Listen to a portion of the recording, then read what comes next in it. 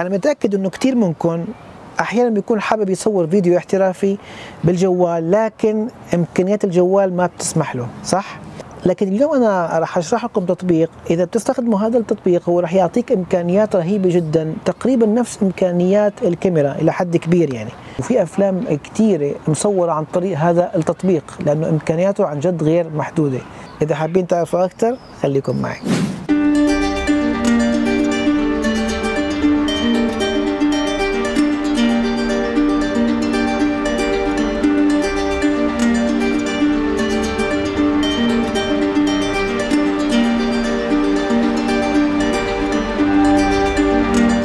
يسعد لي أوقاتكم. يا رب تكونوا كلكم بخير. مثل ما شايفين أنا برا لأنه عن جد اليوم الجو رهيب جدا. عندي حراره تقريبا شيء 18 اليوم أو 19 نحن العيد تبعنا بالنرويج لما يصير هيك في شمس والجو يكون حلو لأنه قليل ما يكون الجو حلو بالنرويج للأسف يعني. المهم إذا أنت أول مرة عم تشوفني أنا علي من قناة Zoom Lens عايش في النرويج. هاي القناة راح نتعلم فيها مع بعض اللي هو التصوير بالجوال كاميرات الطيارة اللي من دون طيارة هي الدرون بيع الصور شغلات لطيفة جدا. إذا حابب تكون مع عائلتنا ما عليه غير إنك تضغط على على زر الاشتراك والجرس. طبعا مجاني الموضوع لحتى تتاكد إنه وصول إشعار بأنه في فيديو جديد. راح نفوت على الموضوعنا اليوم مباشرة وراح نشوف كيف هذا البرنامج أو التطبيق بيشتغل هلأ ممكن تحكوا لي طب ماشي تطبيق الجوال يعني شو بيفرق عن تطبيق الجوال؟ صديقي بيفرق كثير أنت إذا أنت شخص حابب شوي يعني أنت تاخذ فيديو فيه quality أحسن آه، format أحسن آه، تعرف تلون الفيديو فهذا التطبيق هو بيعطيك هاي الإمكانية. إذا افترضنا إنه أنت ما عندك كاميرا أو يعني مالك حابب أو يعني ما معك إمكانية تشتري كاميرا فيها هاي الميزات فهذا التطبيق هو بيفتح لك ميزات موجودة في الكاميرا بيخلي لك إياها موجودة على الجوال تبعك. طبعا هذا هو التطبيق اللي اسمه Filmic Filmic Pro رح نفتح عليه. مثل ما رح نشوف رح نشوف طبعا القوام. أنت أكيد يعني لما تشوف هاي الصورة رح تقول أوف شو هالصعوبة هاي وشو هال لا بس نحن هلأ رح نمشي مع بعض فيهن وحدة وحدة ورح تصير عليك الأمور سهلة جدا. هلأ القائمة اليمين أكيد مبينه معك هي عبارة عن الصوت. كان كيف كمية أو الصوت اللي هي عم تدخل بال dB بتنقاس. الزر الأبيض معروف اللي هو التسجيل تسجيل الفيديو. طبعا هذا هذا هذا التطبيق بس بيصور فيديو. أما الزر هذا اللي بعده اليسار فهو عبارة عن إذا أنت صورت وبدك تشوف آه، الاخ يعني الفيديو صورته بتضغط عليه. هلا بنيجي عندنا اللي هي القائمة المهمة اللي هي أهم قائمة في البرنامج. طبعا أنا ما راح أشرح كل شيء لحتى ما يكون الفيديو طويل كثير هاي القائمة يا اصدقائي طبعا أنا راح أشرح في القائمة المهمة. عندك ال resolution ال resolution هو طبعا بتعرفوا أنتم يعني الدقه هاي مهم كتير. آه طبعا هون قياس الفيديو. إذا أنت بدك اياه 16 ب 9 17 ب 9 3 ب 2 شوف هلأ أنا بنصحك تخليه على 16 ب 9 لأنه هذا اللي هو اللي هلأ حاليا القياس ال standard لكل التلفزيونات الموبايلات 16 ب 9 أما إذا أنت حابب تغير القياس طبعا لمربع أو لشاشه أصغر فأنت في عندك إمكانية. هلأ هون بنيجي طبعا ل يعني قديش القياس اللي هي 4K ولا full HD ولا تشوف إذا عندك مساحة بالجهاز أنا أنا يعني بنصح على طول إنك تصور 4K لأنه هلأ عم بيصير ال 4K هو اللي هو اللي هو الشيء ال standard يعني. إذا بدك تقلل فأنت بتقدر طبعا عن طريق إنك تروح لل sample يصير 3K عندك 2K أو full HD إذا عندك مساحة بنصحك انت تصور باللي هو ال 4K هلا هون عندك يعني جودة الفيديو أو اللي هو ال bit rate هذا في له طبعا هون يعني ما كاتبين لك إنه ال bit rate بس هي هي لها علاقة بال bit rate هلا أفضل يعني resolution أو يعني bit rate اللي هو Filmic Extreme هذا أنا بنصح فيه إذا أنت عندك مساحة بالجهاز لأنه هو رح يعطيك أعلى جودة ممكنة. في عندك أكثر من من جودة اللي هي Filmic Filmic Extreme واللي أقل منها Filmic Quality واللي أقل اللي هي آه Apple Standard يعني انت ال Apple Standard هو إذا أنت عم تصور بتطبيق الجوال نفسه يعني. شايفين قديش قديش في فرق؟ فأنت لما تعمله Filmic Extreme راح تاخذ أعلى جودة ممكنة وراح تاخذ يعني data أكثر بالفيديو. خلصت من هالقائمة هاي.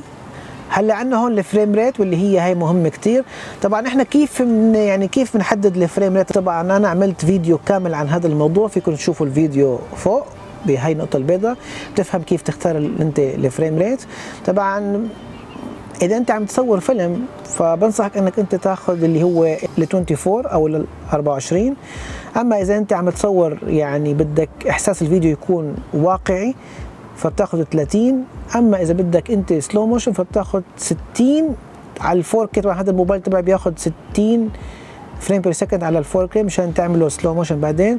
إذا بتصور على ال full HD فيك تاخذ لحد ال 240 frame per second حتى تاخذ يعني فيديو يكون بطيء slow motion هلا هون في عندك طبعا ال 20 frame playback شو معناته؟ إذا أنت لو افترضنا بدك تصور على 60 frame تمام per second إذا حطيته 60 يعني 60 playback FPS شو معناته؟ معناته أنت لما تاخذ الفيديو راح تاخذه يعني حركته 60 frame يعني مش بطيء. انت لازم ترجع تبطئه على المونتاج. أو فيك تخليه مثل ما هو إذا أنت حابب يكون الفيديو 60 frame per second أما إذا أنت حابب تاخذ الفيديو جاهز slow motion من دون ما تعدل أي شيء على المونتاج فبت بهذا السهم هون بتحطه على ال 24 أو على ال 30 على حسب ما أنت بدك.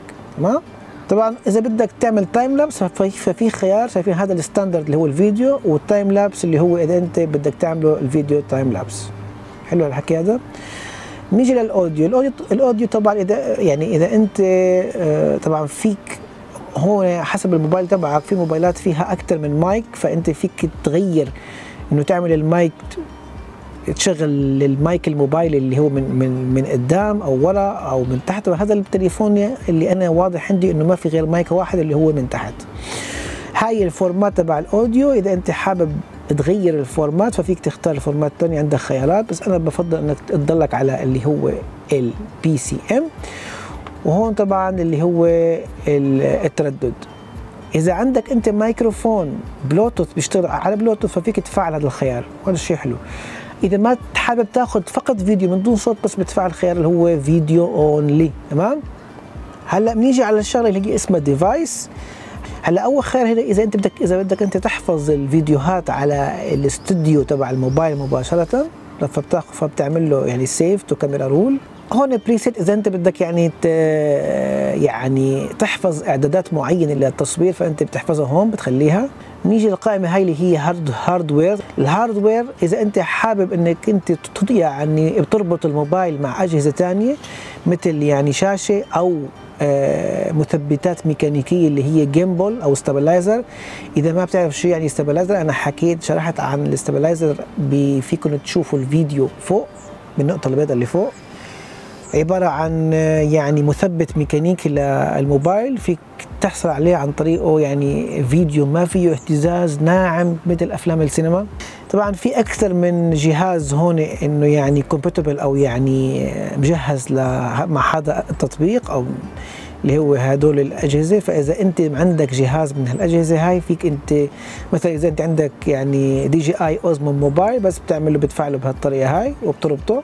هلا بنيجي عندنا ال stabilization يعني stabilization أو تثبيت يعني رقمي بيعمل crop للصورة. أنا بنصحك إنك أنت تخليه مفعل بالأخص إذا أنت عم تصور بإيدك. لكن هو مثل ما رح تلاحظ أنت إذا إذا إذا رح إذا رح تفعله شايف رح يعمل crop بسيط للصورة يعني اقتطاع بسيط للصورة بس خليه أحسن. هلا هون الكاميرا إنه أي كاميرا بدك تختار طبعا حسب جوالك. إذا أنت جوالك فيه كاميرتين أو ثلاثة أو أربعة أو whatever فأنت بتختار أو بدك تشغل الكاميرا الأمامية. طبعا نحن لما تفوت عليه رح رح يحط لك هون الخيارات اللي هي كل الكاميرات الموجوده بجهازك. هلأ أول كاميرتين اللي هي اللي طبعا طبعا أول كاميرتين هي الكاميرات الخلفية اللي عندي أنا. اللي هي الكاميرا هاي الرئيسية والكاميرا ال ultra wide عندي. طبعا إذا بدك ultra wide بس بتركز عليها هيك رح تشوفين كيف؟ صار عندي كاميرا عريضة. هاي الكاميرا اللي هي الرئيسية. وهي كاميرا السيلفي. طبعا هاي double take هاي مره نحكي عنها. هاي إذا أنت بدك تصور بكل الكاميرات مع بعض طبعا لازم يتفاعل برنامج ثاني بعدين نحكي فيه إذا حابين. حنخليه على الكاميرا الرئيسية لأنه هي أحسن كاميرا بصراحة. هلأ هون عندك يعني تورش يعني بيل أو يعني إضاءة إذا أنت حابب تشغل إضاءة شايفين؟ إضاءة الجهاز نفسه يعني. وهون الجايد إذا أنت حابب تحط اللي هي شو اسمه؟ مشان تعرف الكومبوزيشن تبعك أو التكوين. يعني هلأ هاي هي قوام يعني هاي هي الشغلات الرئيسية بالبرنامج. هلأ هون طبعا هاي اللي شايفينها أنتم اللي على اليسار اللي هي اختصار لأنه أنت كيف تختار الكاميرات. تمام؟ فأنا إذا يعني أنت إذا بدك تغير الكاميرات اللي الكاميرات فأنا بفضل إنك أنت تختار هذا الخيار. شايفين؟ إذا بدك تروح الكاميرا اللي اللي تحت اللي هي ال ultra wide بس تضغط هيك صار عندي ultra wide وهاي السيلفي وهاي الكاميرا الرئيسية اللي هي الوايد. تمام؟ هلا هون عندك آه هذا طبعا البطارية رسمة البطارية قديش فيته أنا عندي تقريبا نص الجهاز مشحون الحمد لله. وتحتها هي مساحة التخزين بالجهاز. وهون طبعا مثل ما كنتم شايفين اللي هي إذا أنت عم تصور يعني فهو راح يعني راح يحط لك المؤشر تبع التصوير. هون طبعا 4K مثل ما شايفين. شايفين كيف؟ هلأ هون بنيجي على الدائرة هاي اللي هون شايفينها أنتم هيك. إذا بتضغطوا عليها من هون يطلع لك قائمتين بهذا اللي عند المكان. هون إذا أنت بدك تتحكم بال focus بشكل يعني بشكل يدوي شايف كيف؟ إذا أنت حابب يعني. وهذا طبعا إذا أنت بدك تتحكم باللي هو ال shutter speed بس لكن فيك تخلي أنت الايزو أوتوماتيكي. طبعا هون أنت بهذا الزر شايف إذا أنت باصبعك اليسار بتعمل هيك هو هذا راح يتحكم لك بالأرقام اللي هي اللي تحته وفوق تحت فوق هو رقم الايزو شايف هون أنا عم بقول لي low ISO base تمام؟ يعني انت انت يعني راح يبدأ راح يبدأ الايزو من 35 من أقل رقم ممكن. إذا انت عم تصور هلأ بإضاءة منخفضه أو sorry إذا انت عم تصور بإضاءة منيحة مثل هلأ عندي بالمكان فأنت بتاخذ آخر خيار. أما إذا عندك المكان شوي معتم فبتاخذ الخيار اللي بعده اللي هو الوسط اللي هو بيبتدي عندك الايزو من 200 تمام؟ أما إذا أنت عم تصور مكان مظلم جدا فبتاخذ الخيار اللي بعده اللي هو بيبدا الآيزو من 1000 تمام؟ أنا ما بنصح فيه بصراحة بالأخص بالجوالات. فخل لحتى إذا أنت لحتى تكون بال safe side خليك يا على النص يا على هذا الرقم. إذا مثل هذا المكان خليه على آخر رقم على اليسار اللي هو أقل رقم ممكن تمام؟ وبتسيبها بتتحكم أنت بهاي المؤشر بال... رح يتغير عندك ال ISO وال shutter speed تمام؟ لما لما تنزل لتحت فرح ياخذ إضاءة أقل لما ترفع هيك رح ياخذ إضاءة أكثر وهذا طبعا قلنا ال focus. اما أما يا أصدقائي الأعزاء إذا أنتم حابين تتحك يعني الموبايل تبعكم هو اللي يتحكم بال focus وبال exposure اللي هو التعريض شو بتعملوا أنتم بس بتكبس على هذا المربع هيك بالنص رح يصير بالأبيض وهي الدائرة رح تصير بيضة. فهو هيك لحاله هو اللي رح يتحكم لك بكل شيء. إذا أنت ما بدك تفوت بمعمعه اللي هو التحكم اليدوي. هلأ في شغلة ثانية بيعملوها هدول الزرين وهي شغلة كثير حلوة إنك أنت فيك إما تقفل ال focus على مكان معين أو تقفل التعريض أو ال exposure على مكان معين. يعني فيك تقفل أنت فكرت عم تناديني عم تناديني بابا طلعت عم عم تنادي عم تنادي أبوها هناك.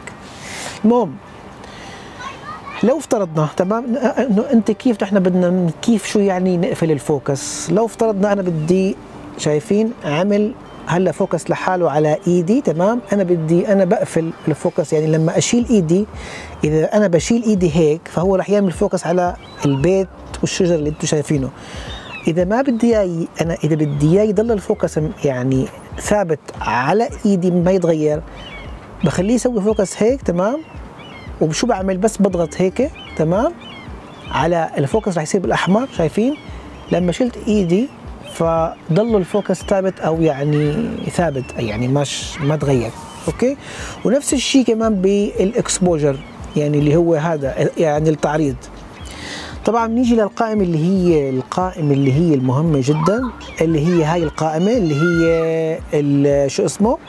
ال white balance طبعا بهذا ال white balance طبعا أنت فيك تغير تباين اللون الأبيض. طبعا فيك تغير بهذا المكان. آه فيك تخلي auto white balance بهذا المكان هون. هلأ هيك أنا عندي auto white balance وهون طبعا أنت فيك نفس الموجود بالكاميرا يعني إنه أنت فيك تغير. إذا أنت طبعا أنا حكيت على هذا الموضوع بشكل مفصل. كمان رح أحط لكم الفيديو شو يعني ال white balance. رح أحط لكم الفيديو فوق بالدائره فوق مشان تشوفوه. هاي القائمة يا أصدقائي طبعا هاي القائمة إذا رحت طيب إذا رحنا على هاي القائمة هاي القائمة هي من أهم القوائم الموجودة بهذا البرنامج. هاي القائمة إذا أنت بدك آه، تعمل يعني ال profile تبع الكاميرا يعني flat كيف الكاميرات اللي هي السوني والكاميرات الاحترافية إنه أنت فيك تعمل profile flat مثل هيك شيء مثلا شايفين يعني بصير أنت عندك مساحات لونية أكثر يعني يعني بصير أنت عندك معلومات أو الصورة بتقل أنت شايف هون بتقل ألوان الصورة لكن آه، بصير ال contrast بالصورة أقل تمام؟ فبصير عندك أنت مساحات أكثر وبالتالي أنت فيك تعدل أكثر على الألوان والمناطق السوداء وغيرها من الشغلات. هلا أنا يعني طبعا هذا عندك فيك أنت طبعا تسوي الموضوع يعني مانوال مثلا الشادو فيك ترفعه أكثر شايفين كيف؟ صار عندي زاد عندي المعلومات مثلا أنا كان عندي هذا المكان عند الباب أسود صار هلا لونه في معلومات موجودة صار. على المونتاج بقى أنت بتتحكم أكثر فيك تتحكم أكثر بال بال بالمعالجة يعني أو بالمونتاج.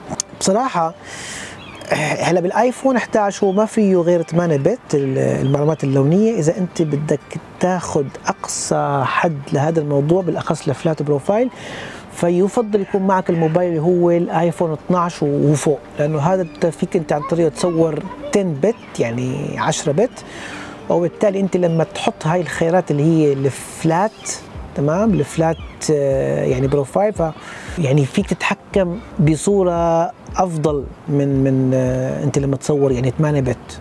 وهذا الشيء طبعا بينطبق على الموبايلات على الكاميرات مو بس على الجوالات. طبعا في عندك عد يعني هون أكثر من خيار فيك تعمله flat log 2 dynamic طبعا هون هذا بتاخده جاهز يعني هون جاهز عندك أنت المعدل وهون طبيعي. فيكم تتحكم طبعا بالساتوريشن يعني أنت فيك تتحكم بالألوان الفيديو يعني فيك مباشرة انت تشتغل على الألوان الفيديو. بين الكاميرا مباشرة شايف؟ زادت زادت زادت الألوان عندي. نقصت الألوان أبيض واسود شايف؟ خيارات غير محدودة. زادت الألوان فيه يعني هذا هو. مثل ما قلت لكم طبعا البرنامج رهيب جدا وإمكانياته غير محدودة. هذا كل شيء كان اليوم. إذا حابين تعرفوا أكثر عن البرنامج بتمنى تكتبوا لي بقسم التعليقات تحت. وبتمنى لكم يوم سعيد.